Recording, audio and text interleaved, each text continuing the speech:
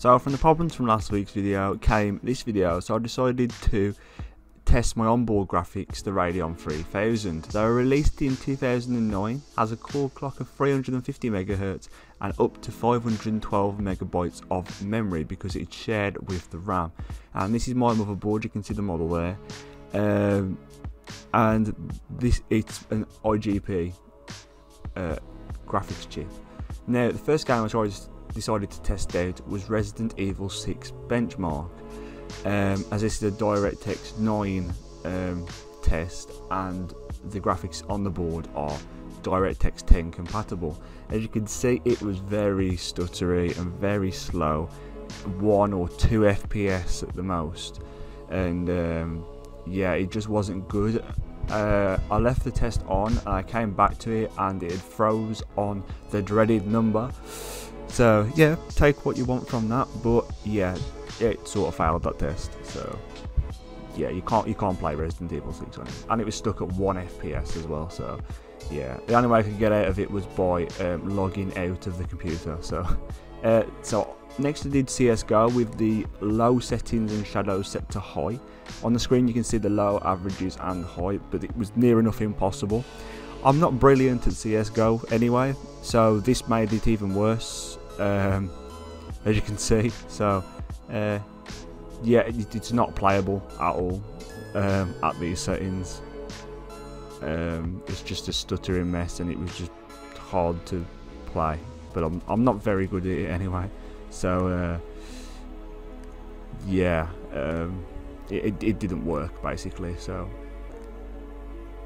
yeah, uh, you can't really play CSGO on this. And I think it's mainly to do with the actual onboard memory, because the onboard memory of the um, IGP on the board, the graphics chip that we're on about today, the Radeon 3000 graphics, um, it's shared with the RAM and it's only 512 megabytes maximum.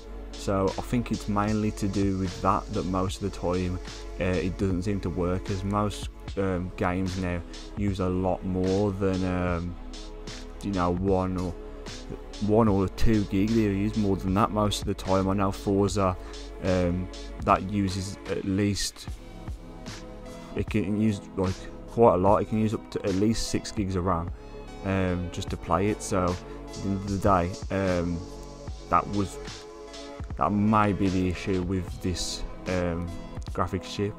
Uh, the next game I decided to try was everyone's favourite game at the moment, Minecraft. Uh, this is the Java edition. As you can see, um, this was the high settings. I just left it on that as it just defaulted to what I had before at 1080p, and it run it pretty well to be honest. Uh, if, if you take well as you know an average of 12 FPS, but um, yeah, it, it, seemed to it seemed to uh, run okay for Minecraft. You don't really need a high FPS in most instances on Minecraft unless you're fighting or something like that. But um, just to do a creative world and that is pretty good on high. But obviously you can lower down the settings if you want, so it runs. Um, you're probably able to get this running quite well um, with a lot, a lot lower settings than what I've used today anyway.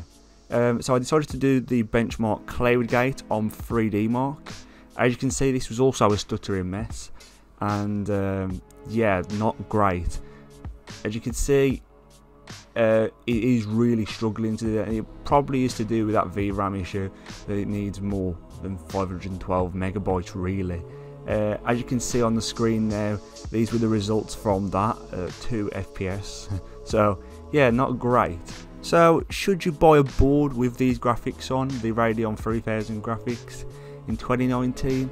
No, I wouldn't, just because of the fact that the slow, limited in VRAM and other issues as well.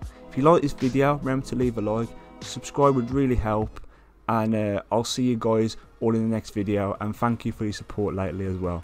See you guys all in the next one.